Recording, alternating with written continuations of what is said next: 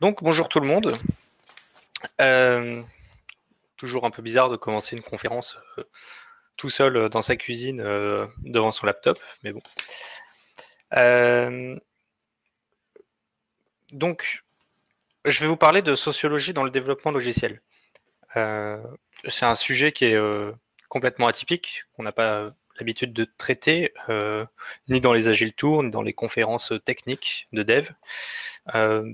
Et euh, la sociologie, de manière générale, c'est un sujet quand même qui se cantonne beaucoup au milieu universitaire et qu'on aborde assez peu dans nos vies de tous les jours. Donc, moi, ça me paraissait intéressant un peu de, d'aborder ce sujet-là avec vous, euh, pour le présenter, que vous ayez peut-être des notions de sociologie. Euh, pour commencer, je voudrais remercier les, les sponsors hein, qui permettent à Gilles Niort de, de démarrer une première année, on espère J'espère que ce sera un succès.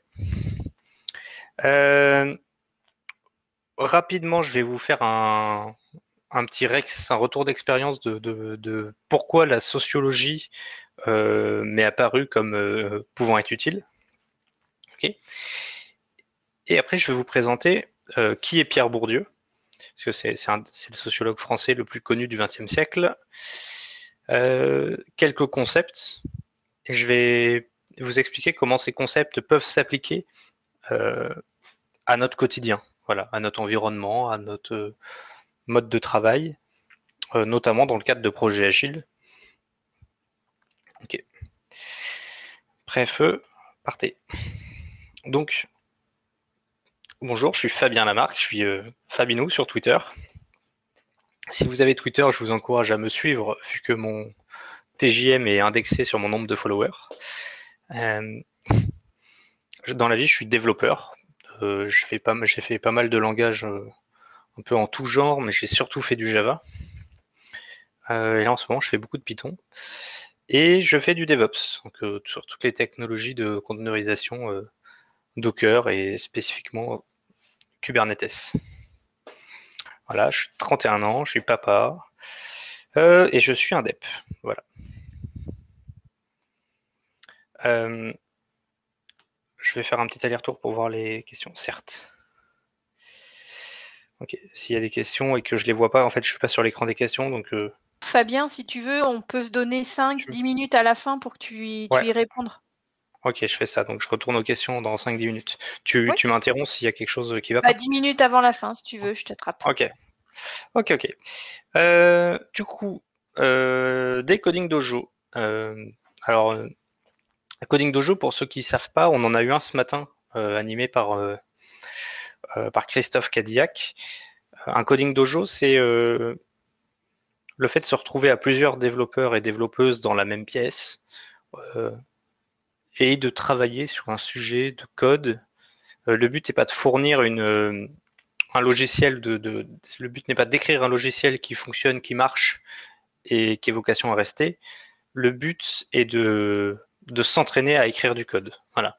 Pour travailler ensemble sur les bonnes pratiques, les bons questionnements à avoir. Et euh, voilà, essayer de partager entre nous, euh, de faire travailler notre intelligence collective pour euh, faire émerger un peu la, meilleure manière de coder. c'est quelque chose qui est très. donc ça, ça part d'une métaphore sur les, sur les arts de combat, les arts martiaux. Donc les, notamment le karaté. Euh, il y a deux types d'exercices au karaté, ce qu'on appelle euh, les katas, où ça va être, euh, on répète des mouvements qu'on a appris pour faire une démonstration. On, répète inlassablement les mêmes mouvements pour, les faire rentrer, et puis ensuite pour montrer qu'on sait bien pratiquer. et il y a ce qu'on appelle des randoris, qui sont des combats, de mise en pratique, qu'on, des mouvements qu'on connaît. Euh, et les dojos, bah, c'est l'endroit où on pratique ça. Voilà. Euh, et moi, j'aime bien ça, les coding dojo. C'est, une pratique qui permet bah, d'échanger des informations, de grandir, d'apprendre ensemble. et quand je suis arrivé sur Bordeaux, il n'y avait pas de coding dojo. du coup, j'ai repris, euh, je suis rentré dans une association qui s'appelle Okiwi, qui faisait des coding dojo. et qui n'en faisait plus. Et du coup, j'ai commencé à les remettre en pratique, les rescheduler, tout ça dans l'agenda. Et donc, j'ai eu plein de gens, des développeurs plus ou moins expérimentés qui venaient. Et durant ces épisodes de Coding Dojo qui avaient lieu une fois par mois, je voyais les mêmes patterns revenir inlassablement. par exemple, moi j'étais développeur avec que 3-4 ans d'expérience. et ce qu'on voyait, c'est que systématiquement, les gens m'obéissaient et me demandaient si ce qu'ils faisaient était bien. Même dans le cas où j'avais des gens plus expérimentés face à moi, se émerger un peu naturellement de la situation des structures de domination où j'étais la personne référente et où je devais acquiescer dès qu'il fallait, par exemple, nommer une méthode, nommer une variable. Est-ce que le test, prochain test qu'il faut écrire, c'est ça? Fabien, qu'est-ce que tu en penses Et ça, c'est quelque chose avec lequel j'étais pas du tout à l'aise. Et ce qui m'étonnait le plus, c'est que, bon, bah, comme c'est des gens qui se connaissent pas, il y a des gens qui, la plupart des gens, ils viennent qu'une seule fois, ils repartent, ils reviennent deux mois après. En fait, les groupes sont systématiquement différents et c'était un pattern qui revenait systématiquement. Et je me suis demandé comment ça se fait que, euh, malgré que la population change de mois en mois, la structure reste. Pourquoi la structure de domination reste là? Donc, j'ai commencé à creuser euh, ces sujets-là de, domination au sein des structures d'équipe euh, et du coup, le sociologue qui a beaucoup parlé de, domination, c'est Pierre Bourdieu. Je vais vous faire une petite présentation euh, rapide de qui est Pierre Bourdieu. Pierre Bourdieu, c'est un, euh, c'est quelqu'un du sud de la France qui, bah, il vient du Béarn, qui a fait beaucoup de, philosophie. Et une fois qu'il a fini la philosophie, il s'est attaqué, il a fait de l'anthropologie. Alors, euh, il, a écrit euh, pas mal sur euh, qu'est-ce que la sociologie et qu'est-ce qu'être un sociologue. Ses études de philosophie ont, beaucoup permis de, de, questionner le métier de, sociologie, de sociologue, pardon. Donc, il a apporté beaucoup au métier. Il faut savoir que la sociologie, à l'époque, c'était beaucoup euh, ce que je vais appeler une exégèse. C'est-à-dire que le, métier de sociologue, c'était euh, est-ce que tu as bien étudié les textes sacrés écrits par des sociologues avant toi? Il n'y avait pas de, travail de terrain, il y avait peu d'enquêtes, c'était beaucoup de l'étude de texte. Euh, et notamment, voilà, est-ce que c'était des gens qui avaient étudié beaucoup Marx, par exemple Et du coup, Pierre Bourdieu, il a, il a travaillé de son côté sur euh, la sociologie et il a proposé ce qu'il a appelé le structuralisme constructiviste. Alors ça paraît euh, tiré par les cheveux comme, euh, comme nommage.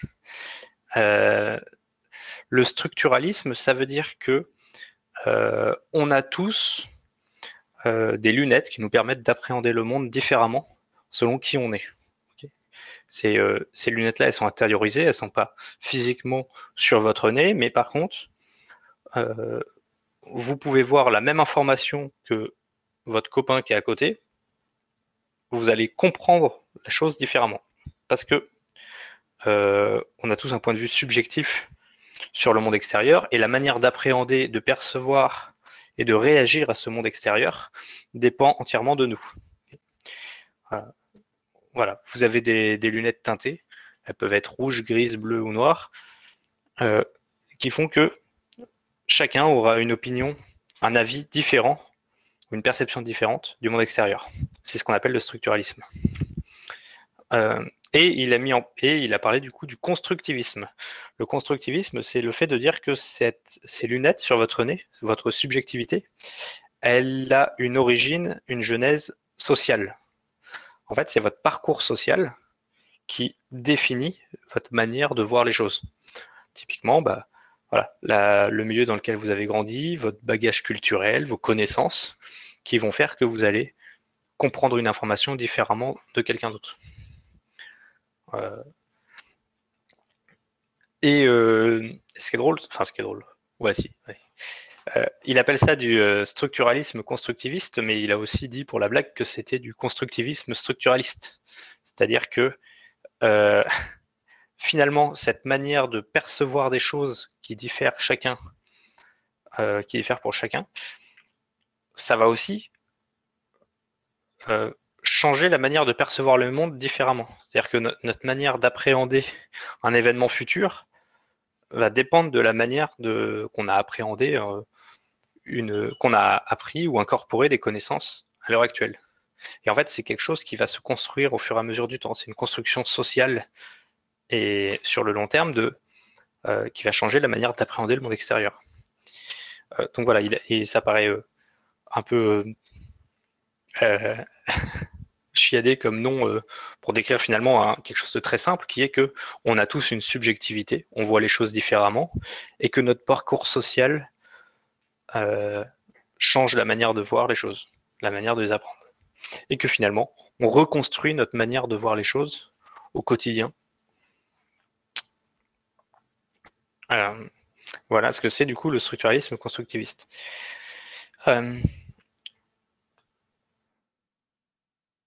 Alors, euh, Pierre Bourdieu, il a parlé de, qu'est-ce que c'était la sociologie. Euh, pour la petite info, on, parle souvent d'anthropologie ou de sociologie, et c'est considéré par pas mal de monde comme étant plus ou moins la même chose. D'accord. Donc il y a des subtilités, mais on ne va pas euh, rentrer dedans. globalement, la sociologie, c'est très simple, c'est l'étude des êtres humains euh, l'étude des interactions entre les êtres humains et l'étude des faits sociaux. Voilà, l'étude des rapports des hommes envers les autres hommes. Hum. Le, but, enfin, la sociologie va beaucoup étudier euh, la manière dont les agents interagissent entre eux et, se confrontent. Euh, Pierre Bourdieu, euh, comme beaucoup, comme l'immense majorité des intellectuels du XXe siècle, il a lu Karl Marx. Euh, parce que Karl Marx, c'est un peu l'alpha et l'oméga de la sociologie, de la politique et de l'économie pour tout un tas de penseurs de ces deux derniers siècles. C'est-à-dire que il est ce que Darwin est à la biologie. C'est-à-dire que le marxisme, enfin l'idéologie marxisme, si on peut dire ça comme ça, permet d'unifier euh, beaucoup de et d'expliquer beaucoup de choses dans les interactions sociales. Bref. Du coup, euh, qu'est-ce que dit Karl Marx dans ses nombreux livres? Euh, Il dit que les rapports de domination entre les hommes naissent des inégalités de capital économique. J'ai plus d'argent que Christian. si j'ai plus d'argent que Christian, je peux euh, et que c'est mon employé, bah, je peux le licencier, le virer et il sera à la rue. Euh, j'ai plus d'argent que quelqu'un d'autre, bah, je peux m'arranger avec son patron pour le faire virer parce que nous sommes dans les cercles sociaux euh, qui fait qu'on se connaît.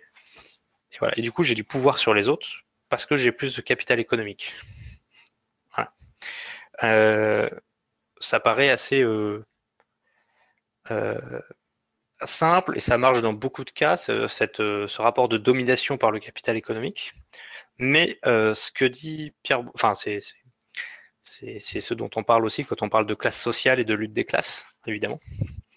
Euh, on parle des classes au, sens économique. Mais ce que dit Pierre Bourdieu, c'est que cette explication-là n'est pas suffisante pour expliquer tous les cas de domination. Alors, il parle notamment du fait que si on, peut avoir des cas de domination qui sont très nets, qui sont flagrants, euh, mais qui ne sont pas euh, explicables par une différence de capital économique. Euh, notamment, donc, un, exemple qui est, très très courant, c'est le capital culturel. Imaginons que, bah, là par exemple, tout de suite, je suis en train de parler, je donne une conférence devant, je ne sais pas combien de gens dans la salle, on va dire une dizaine de personnes. Euh, ça veut dire qu'il y a 10 personnes qui m'écoutent, euh, qui me répondent pas, euh, qui et du coup qui sont si on était dans une vraie conférence physique, ils sont 32 Fabien, 32. 32, d'accord. Bah, imaginons qu'on était dans une salle euh, de conférence en, physique, euh, vous êtes vissé dans une, euh, les fesses à une chaise, vous n'êtes pas capable, enfin, vous n'êtes pas capable. Vous pouvez vous lever et partir, mais ça se fait pas. Du coup, vous allez sûrement vous sentir forcé de rester assis et suivre la fin de la conférence. Dans ce cas-là, moi j'ai beaucoup de pouvoir sur vous parce que vous êtes en train de m'écouter et vous n'êtes pas libre de partir parce que la pression sociale fait que ça se fait pas de partir d'une salle comme ça de conférence euh, parce que bah, on a un peu intériorisé euh, le côté scolaire de la conférence où on assiste euh, à une conférence comme on assiste à un cours et on se lève pas en plein milieu du cours pour partir. Donc, en ce moment, j'ai beaucoup de pouvoir pour tous les gens qui sont dans la salle. Tout simplement parce que le discours va que dans un sens. Et, et ça, c'est pas explicable par le capital économique. Parce qu'en fait, vous ne savez pas combien je gagne, moi je ne sais pas combien vous gagnez, et ça n'a pas de rapport en fait. Et donc, on a des cas comme ça où le capital culturel permet euh, de créer des, situations de domination. Euh, donc ça, c'est un exemple très, euh, très simple, mais qu'on voit souvent. Voilà, le, professeur sur les élèves, c'est une situation de domination. On peut, dire la même chose avec le policier qui vous met une amende tout ça, tout ça fait que on ne peut pas toujours tout expliquer par le capital économique. Et donc, euh, Pierre Bourdieu, il explique que, le capital culturel, c'est l'ensemble de vos connaissances qui sont intériorisées, de vos compétences, et ça, ça peut vous permettre de dominer des gens.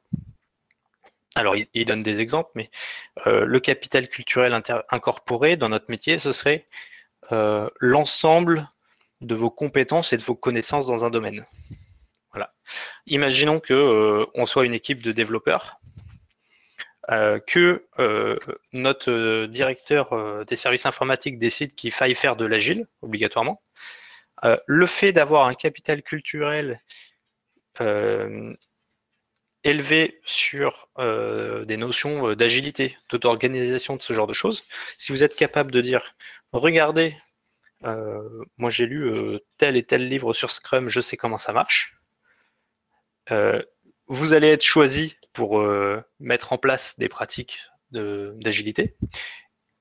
Et du coup, vous aurez de la domination sur, vous aurez une structure de domination vu que vous serez en train de choisir quel rituel on va appliquer, à quelle date on les met, et que ce bagage culturel va vous permettre d'accéder à une certaine forme de pouvoir. C'est ça qu'on appelle le capital culturel intériorisé. C'est toutes ces connaissances et ces pratiques que vous avez. Euh, le capital culturel, il peut aussi être institutionnel. Un capital culturel institutionnel, ça veut dire qu'il y a un État ou une institution qui vous décrète euh, apte à faire telle ou telle chose, qui vous donne un diplôme. Euh, dans le cas d'un gendarme qui vous met une amende, bah, c'est du capital institutionnel parce que euh, il a le droit de vous imposer, de vous mettre une amende. Vous êtes obligé de vous y soumettre. Euh, de la même manière, du coup, dans notre métier, ça voudrait dire que si vous passez des certifications pour devenir Scrum Master, vous aurez un tampon officiel qui dit votre capital culturel autour de la notion de Scrum et d'agilité euh, est validé et certifié par un organisme indépendant qui vous a certifié votre niveau technique sur Scrum, par exemple. C'est ce qu'on appelle le capital culturel institutionnel. Euh, l'autre exemple, c'est que si vous êtes un ingénieur qui a fait, euh, moi j'ai fait les mines de Nantes, une petite école d'ingénieurs, j'ai un capital culturel institutionnel du coup d'ingénieur, euh, mais à côté de moi, je peux avoir quelqu'un qui a un capital culturel institutionnel plus élevé parce que il aura fait euh, Polytechnique, par exemple. Voilà. Euh, et finalement, le, il y a une dernière forme de capital culturel, donc là qui est un, petit peu plus peut-être dur à comprendre, c'est le, fait d'avoir du capital culturel objectivé, qui est la représentation physique d'un capital culturel. Là, je vais vous donner un exemple. J'ai chez moi des, des tableaux euh, des, beaux tableaux d'art moderne. Euh, pour pas mal de gens, avoir des tableaux d'art moderne à la maison, ça, signifie euh, avoir. Bah, c'est un, objet matériel, le tableau en lui-même. Par contre, quand les gens voient l'objet, ils se disent ah, il est intéressé dans l'art moderne, donc il est assez cultivé. Parce que les gens font un, amalgame, ce qui est normal, entre euh, le fait d'avoir des tableaux d'art moderne et le fait de s'intéresser à l'art moderne. Et là, il y, a, des exemples que j'ai déjà vus en vrai dans des entreprises, hein, des trucs qu'on voit très souvent. C'est le développeur qui a sur son euh, bureau le livre euh, Kubernetes, par exemple. Bah, on va beaucoup plus aller le voir et lui poser des questions sur euh, Kubernetes. Il va beaucoup, beaucoup plus être pris au sérieux parce qu'il a l'objet sur la table. Alors que l'objet, je ne l'ai pas vu ouvert de toute l'année. Et en fait, c'est juste le fait que avoir un objet devant soi visible rend le capital culturel euh, encore plus visible par les autres autour de lui. Voilà, c'est un exemple de capital culturel objectivé qu'on voit souvent. Euh, et une autre forme de capital, c'est ce qu'il appelle le social. Donc là, c'est euh, l'ensemble de vos amitiés, vos relations familiales, vos relations professionnelles. votre capital social est d'autant plus élevé que, d'une part, vos liens avec les personnes sont forts, et d'autre part que les personnes en question sont euh, dans une position euh, avantageuse. Euh, par exemple, vaut mieux être le meilleur ami du président des États-Unis, de une seule personne, que d'être ami sur LinkedIn avec 8000 personnes. Voilà, typiquement, plus vous avez de gens, enfin, le capital social, c'est le lien qui vous unit à des personnes plus ou moins importantes. Euh, le capital social, euh, on parle souvent du réseau. C'est une, manière euh, autre de parler de capital social. mais on voit que ça a beaucoup d'intérêt et beaucoup d'importance dans nos sociétés. Notamment parce que le capital social va aussi définir la, famille dans laquelle vous avez grandi. Donc effectivement, si votre papa et votre maman sont ingénieurs, plus de chances que euh, ce capital social vous aide euh, à grandir, à amasser du capital économique parce que peut-être que papa peut vous trouver un stage dans son entreprise, etc. etc. c'est ça qu'on appelle le capital social. Hum. Euh, du coup, pour résumer de capital culturel, économique et social, euh, vous pouvez essayer de faire l'exercice de pensée, de, vous dire, si demain je perds tout, je perds ma maison, ma voiture, mon emploi, euh, qu'est-ce qui fera que euh, je pourrais rebondir ou pas? Qu'est-ce qui sera un accélérateur? Bah, Je parle pour moi, mais dans ma situation, je me dis, bah, j'ai un réseau qui est intéressant, j'ai plein d'amis sur Bordeaux qui sont développeurs, du coup, ils sont dans des boîtes qui vont recruter. Mon capital social va énormément faciliter la vie pour rebondir. Euh, de la même manière, mon capital culturel, qui est l'ensemble des connaissances que j'ai, euh, bah, du coup, pour trouver un travail, vont aussi me permettre de revenir en quelques années à une situation similaire à celle dans laquelle je suis. Voilà. et en dernier, on a ce qu'on appelle le capital symbolique. Alors, le, finalement, le capital culturel, le capital euh, social euh, et le capital économique, ils ont de l'effet seulement quand ils sont perçus par les autres.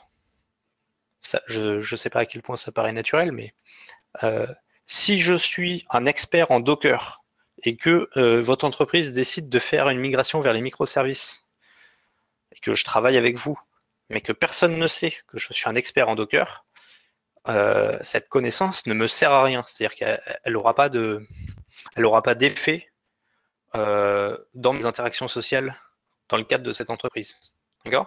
C'est le fait que, ce capital soit perçu qui fait qu'il a de l'effet. Le capital symbolique, c'est euh, un peu la, mise en action de toutes les formes de capital dans le cadre d'interactions sociales. Là, j'ai un exemple, enfin, l'exemple sur Docker, il, vient pas de nulle part, mais on a eu le cas de. Euh, je travaillais chez Cdiscount à Bordeaux. Euh, on fait une migration euh, vers des microservices et donc tout le monde déploie sur Docker, machin, on fait du Kubernetes. projet d'envergure, on change la, la, manière de déployer, de développer pour 200 développeurs. Bon, ben, on avait des développeurs qui se sont mis en avant parce qu'ils connaissaient très bien Docker. Donc ils ont pu assurer les formations des autres équipes, ils ont pu se mettre en avant et, assez vite obtenir des promotions. Euh, il y a d'autres développeurs, par exemple, qui, euh, qui avaient ces connaissances-là, mais pour autant qu'ils ne les ont pas mises en action parce que euh, n'ont pas été identifiés par la direction comme étant des développeurs capables d'aider et d'accompagner le, reste le reste des équipes sur ces technologies-là. Donc c'est de ça dont on parle quand on parle de capital symbolique, c'est la manière dont, ces choses-là seront perçues. Euh, et là, on voit que le, structuralisme de Pierre Bourdieu, il rentre en compte parce que euh, ça va dépendre entièrement de la personne qui observe le capital. Euh, par exemple, là, je parlais de moi qui est un développeur ingénieur des mines et de mon voisin qui est ingénieur polytechnicien. il y a des gens pour qui ça aura beaucoup d'importance, ce diplôme-là si tu es ingénieur polytechnicien, tu es forcément hyper intelligent et donc il va forcément accepter de te recruter beaucoup plus cher que euh, ingénieur des mines. Et à l'inverse, il y a d'autres gens qui vont se dire bah non, j'ai pas envie d'avoir euh, enfin, je fais pas de différence et donc je vais pas mettre en avant l'un ou l'autre. Etc. Euh, il y a un exemple de ça qu'on voit très souvent. Alors je sais pas si je ne sais pas si dans mon public j'ai plutôt des développeurs ou des codes, mais euh, du côté des développeurs, on, attache au final au, code vestimentaire euh, de la personne qu'on a en face de nous dans des conférences de dev. Donc là, je parle de conférences techniques, mais euh, quand il y a un speaker qui vient en, costume cravate, comme le logo que j'ai, comme le, mon slide, il y a pas mal de développeurs qui par instinct se méfient leur premier réflexe, c'est de se méfier, de se dire Oh là, putain, c'est un mec d'IBM, il va venir me vendre sa solution. Euh, là où ils auront beaucoup plus confiance en un speaker qui sera en t-shirt, euh, avec euh, un t-shirt Star Wars par exemple. ça, c'est une manière de dire voilà, les développeurs, ils ont leur mode de perception des choses qui a eux. là où dans la même, je sais pas, dans le même lieu, on peut avoir une conférence d'avocats. Bon ben, si les avocats euh, suivent des conférences, il est hors de question que le conférencier qui vienne sur scène ne soit pas habillé, tiré aux quatre épingles. C'est un exemple pour dire que voilà, ce capital symbolique qui joue aussi par ça. Et ça, on le voit quotidiennement. Quoi. Le, fait d'obtenir la confiance des gens, ça passe beaucoup par le symbolisme. Euh, euh, et, du coup, ces différentes formes de, donc, ce que disait, pour répéter ce que je disais tout à l'heure, Karl Marx, il pense que la domination vient des écarts de capital euh, économique. Euh, Bourdieu, il a continué à creuser le concept et il a dit ben, les différences de toute forme de capital, pas que de capital économique, euh, créent ce qu'il appelle de la domination symbolique. Et donc ça, c'est un, un phénomène de soumission naturelle qui occure quand on a des situations euh, qu'on ressent comme dévalorisantes euh, pour les dominer. Euh, donc là, il y, a beaucoup de cas, enfin, dans les exemples qu'ils citent, ils disent que ce sentiment de, soumission est exercé que la personne, que uniquement par la personne dominée. Que la personne qui domine, dans le cas d'une interaction avec une différence de, capital, la personne qui domine n'a pas ce sentiment-là. Elle le ressent même pas, c'est-à-dire qu'elle n'a pas le, elle n'a pas l'impression ni la volonté de dominer. Elle fait pas ça exprès. Mais c'est quand même quelque chose que le dominé va ressentir. Euh, et du coup, comme ces réalités sociales apparaissent euh, comme euh, confirmation de la représentation mentale des dominations, c'est-à-dire que, par exemple, on, a une discussion d'équipe sur euh, comment on doit mettre en place le Kanban euh, dans notre équipe. Moi, je vais dire, euh, j'ai vu trois équipes qui ont mis ça comme ça en place, et voilà ce qui s'est passé. Je montre que j'ai un capital culturel élevé parce que j'ai de l'expérience dans la mise en place de Kanban avec des équipes. on va plutôt avoir tendance à suivre ce que je dis et, et m'écouter plus que quelqu'un qui donnera juste son opinion euh, sans l'avoir vraiment vécu ou l'avoir vraiment expérimenté. Euh, du coup, ces personnes-là vont plutôt faire le dos rond et, plutôt accepter les choses que je propose, parce que dans leur représentation, bah, ça leur paraît logique de se soumettre à quelqu'un qui a plus de capital culturel qu'elle. Et donc dans ce cas-là, euh, il y aura une hiérarchie sociale qui apparaîtra et qui paraîtra naturelle à tout le monde. Tout le monde se dira, bah oui, mais en fait, il est meilleur que moi, donc euh, bon, c'est normal que qu'il que, que je m'y soumette, qu'on suive sa décision. C'est pour ça que euh, cette soumission, elle est particulièrement insidieuse. C'est parce qu'on ne, elle est, elle est pas volontaire. C'est, j'ai pas pris un fouet pour exiger quelque chose, mais malgré tout, tout le monde s'y soumet. Euh, et euh, un autre concept de Pierre Bourdieu, c'est de dire, euh, il parle de l'habitus. l'habitus, c'est donc l'ensemble des, des, manières qu'on a en tant qu'individu de réagir à notre environnement extérieur. quel, quel, schéma d'action on va faire, comment on va percevoir des choses, comment on va y réagir, comment on va communiquer. Et, là aussi, on voit que qu'il y a des qu'il y a des similarités entre les habitus des développeurs.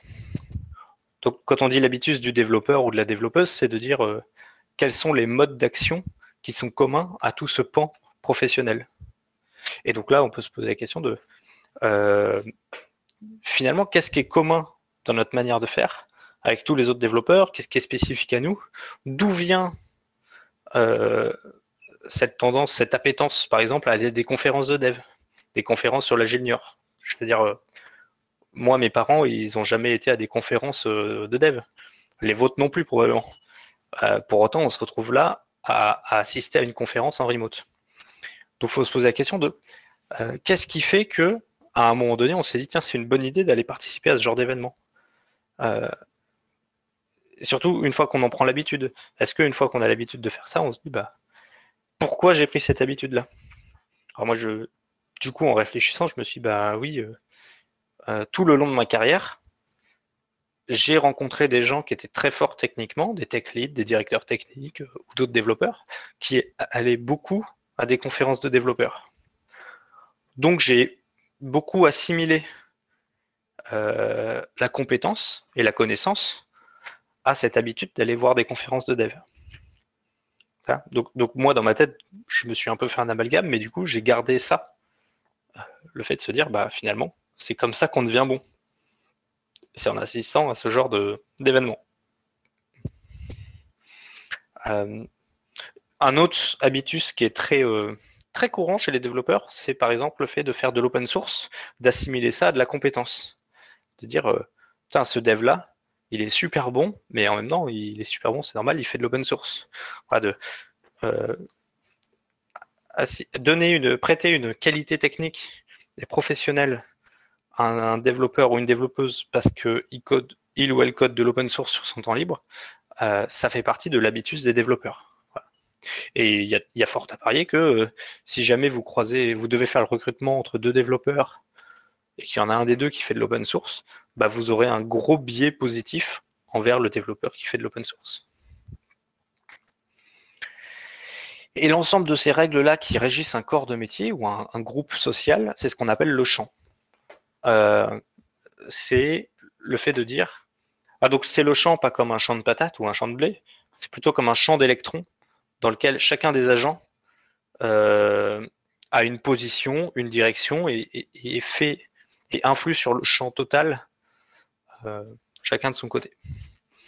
Euh, et donc chaque, chaque champ a des règles spécifiques. Donc là, par exemple, l'exemple du, du code vestimentaire des développeurs ou des notaires, euh, ou des avocats, pardon, et un exemple de, de règles spécifiques de champ. Ce sera valorisant d'être en t-shirt pour un développeur, là où ce sera complètement dévalorisant pour des avocats. Et, et euh, donc déjà, euh, première idée de, choses à creuser en partant de la conférence, c'est de vous dire, euh, en tant que groupe social de professionnels du numérique, quelles sont nos spécificités? Qu'est-ce qui fait que, nous avons des jugements de valeur différents que les autres bah, sais pas, les autres ingénieurs, les autres corps de métier? comment est-ce qu'on peut se reconnaître entre nous? Quels sont nos tics, nos différences de perception Tout ça, ça, fait partie d'une certaine introspection qu'on se doit d'avoir si on veut pouvoir aussi progresser. Et donc ça, ça permet aussi de comprendre des questions du genre euh, pourquoi quand j'essaye l'auto-organisation dans les équipes, ça marche jamais?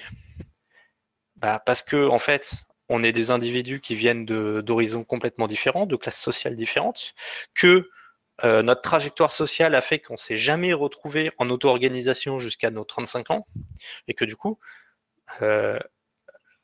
quand on tombe par hasard sur une équipe qui nous force à être auto-organisé, bah, la réalité c'est qu'on ne sait pas se débrouiller en auto-organisation, parce qu'on n'a jamais appris.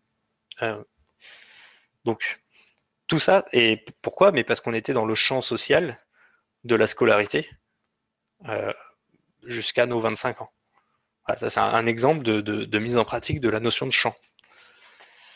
Et ce qui est intéressant, c'est que à l'intérieur du champ bah, du dev logiciel, on va avoir des luttes donc typiquement des luttes entre les anciens et les nouveaux, ça c'est quelque chose qui arrive tout le temps, mais même dans le champ de, la littérature par exemple, c'est typique qu'un nouvel arrivant dans le champ décide de révolutionner euh, le code de valeur pour pouvoir produire un, bah, pour pouvoir se mettre en avant lui-même. Hein. Euh, et donc, du coup, c'est absolument naturel que quand on arrive dans le métier de développeur, on cherche d'abord à redéfinir euh, la valeur du code qui est produit en fonction de ce que nous, on est capable de produire pour se mettre nous-mêmes en avant. C'est quelque chose qu'on voit très très souvent. Euh, du coup, pour résumer, euh, un petit peu ce qu'on a vu de la pensée de Bourdieu. Euh, les individus, c'est des agents qui ont des formes de capital inégales. Ça peut être du capital culturel. J'ai bientôt fini. Voilà. Merci. Ok, vive le Béarn. L'IMT Atlantique maintenant. Ouais, ouais. Syndrome de l'imposteur. Euh, les individus sont des agents qui ont des formes de capital inégales, ouais, c'est ça. Et euh, la différence de capital crée de la violence symbolique et donc de l'obéissance et de la soumission. Euh, et euh, le champ du développement logiciel est un terrain de lutte sociale, euh, finalement comme les autres. Là-dessus, je vais juste. Alors, j'avais deux trucs à dire. Ouais. Alors, par exemple de, j'ai un exemple d'utilisation de ça dans le contexte. quand on va à des conférences de dev, par exemple, il faut bien voir que euh, les, conférenciers, ceux, qui organisent les conférences, ils ont un panel de sujets à proposer et ils choisissent les sujets qu'ils vont mettre en avant à leurs euh, spectateurs. C'est-à-dire que euh, ce travail de... en fait, c'est un travail de censure. Le fait de, choisir, de dire ces gens-là, leur discours, bah, ça m'intéresse pas, je ne veux pas qu'ils parlent devant tout le monde. Je décide de mettre en avant tel speaker euh, ou tel speakerine sur tel sujet, c'est déjà un travail de censure, mais euh, c'est aussi ce qui permet de, faire une conférence. Euh, enfin voilà, on peut pas laisser, on, peut pas, ça s'appelle pas faire une conférence si tout le monde parle du sujet qu'il veut. mais, mais du coup, on a un exemple là, par exemple, de, de domination structurelle, dans le sens où le fait de choisir quel sujet a de l'importance, euh, c'est déjà un pouvoir énorme sur les autres. On voit ça souvent, euh, mais voilà, le fait de dire par exemple, euh, on, met un kata de code le matin, ça, me fait dire que les, conférenciers se sont dit, bah, on trouve que le code, c'est une partie importante de l'agile, et donc à l'agile Nior, on veut mettre du code, on veut mettre un peu de code. ça, c'est un message fort, mais qui est subliminal en fait, qu'on ne voit pas si on n'a pas si on ne connaît pas bien les tenants et les aboutissants de l'organisation de conférences. Euh, et, ça fait partie de ces nombreuses structures de domination qu'on ne perçoit pas si on ne cherche pas à les creuser et à les découvrir soi-même. Euh, donc, moi, ce que je vous encourage, c'est essayer de, discuter avec vous, euh, discuter entre vous, de comprendre, d'essayer de comprendre ces mécaniques de domination, parce que c'est surtout en en comprenant les mécanismes en comprenant ce qui se passe, qu'on arrive à, savoir s'il y a de la domination. et pour finir, du coup, je veux vous dire que il y a un livre de sociologie qui s'appelle Tyranny of Structurelessness, qui parle de la tyrannie des groupes sans structure, euh, qui explique qu'il y a beaucoup, beaucoup d'échecs de groupes auto-organisés, et c'est notamment du fait euh, des mécanismes de domination euh, symbolique. Donc c'est quelque chose, c'est une, une sociologue Joe Freeman américaine qui a étudié les groupes radicaux féministes américains des années 70, et du coup qui expliquait comment les groupes se, délier au fur et à mesure du temps à cause de ces mécanismes-là. Donc si vous voulez des exemples d'auto-organisation qui marchent mal parce que des gens ne comprennent pas ces mécanismes de domination, euh, ça peut être un bon sujet pour éviter de refaire ces mêmes erreurs euh, dans le contexte de vos équipes de dev. Je vous remercie. Euh, si vous êtes... C'était peut-être un peu dense, je sais pas. J'ai pas trop l'habitude de la faire en remote, donc euh, je suis euh, preneur de feedback euh, autant sur la forme que sur le fond. si vous souhaitez aller plus loin, je vous déconseille de lire du Pierre Bourdieu parce que c'est chiant à lire comme la mort. et c'est très très c'est très très dur à lire. Je sais pas d'autres mots. Par contre, il y a ce petit livre-là qui s'appelle Pierre Bourdieu, Vie, œuvre, concept, qui parle des, principaux concepts en une quarantaine de pages. C'est très très intéressant, ça coûte 5 euros, un truc comme ça. Et, euh, ça permet de, bien euh, mettre le pied à l'étrier pour au moins avoir des notions euh, de comment marche un peu la sociologie de Pierre Bourdieu. Et ça vous permettra peut-être de creuser ces questions-là si ça vous intéresse. Voilà. Je vous remercie. Alors Fabien, est-ce que tu as accès aux questions? Oui, alors, le développement logiciel est-il un sport de combat? Euh, Bonne vanne. Alors ça, c'est... Euh, c'est anonyme, mais euh, peut-être que tu connais qui pourrait te, le, proposer. Un, quoi, tu dis? C'est anonyme la question. ah, c'est anonyme, d'accord. C'est un peu de la chambre. Alors, non, en fait, il y a un documentaire sur Pierre Bourdieu qui s'appelle La sociologie est un sport de combat. Et c'est devenu une blague de, sociologue, en fait, de dire euh, tout et n'importe quoi euh, est un sport de combat. Donc euh, voilà, le développement logiciel est-il un sport de combat? C'est une référence à un documentaire que vous trouvez sur YouTube ou sur Vimeo, je pense très facilement et qui est, intéressant. pour toi, les développeurs sont-ils de gauche ou de droite? Je pense que ça dépend. Ça dépend, ça dépend. On a des, on a une population qui est quand même de cadre, cadre sup très euh, plutôt cultivé, mais bon, j'ai pas de préférence. Euh, les développeuses subissent-elles un impact positif et négatif sur la capitale du fait qu'elles sont dans un milieu essentiellement masculin? Oui, euh, oui, bah des, des, situations de domination, j'en ai vu beaucoup. mais par exemple, c'était des trucs assez insidieux, c'est-à-dire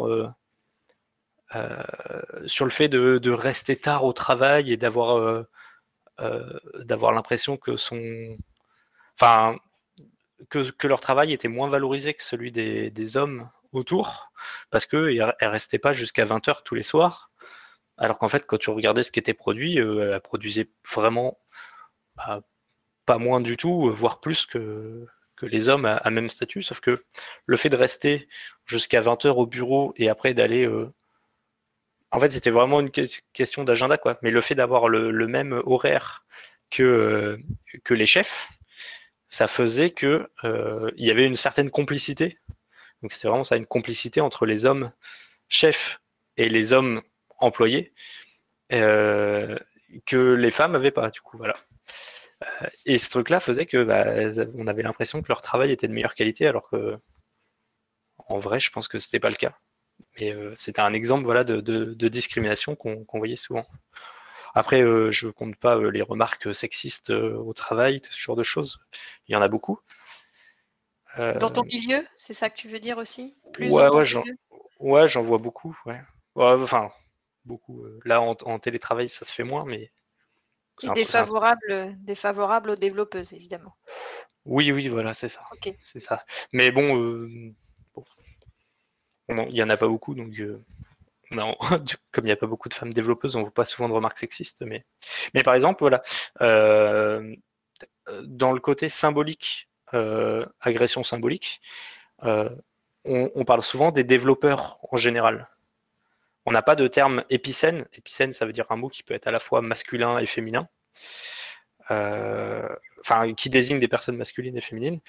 Euh, je pourrais dire des devs, mais j'ai l'habitude de dire des développeurs. Mais quand j'utilise ce terme-là, bah, ça veut bien dire que euh, les devs, c'est 90% des hommes.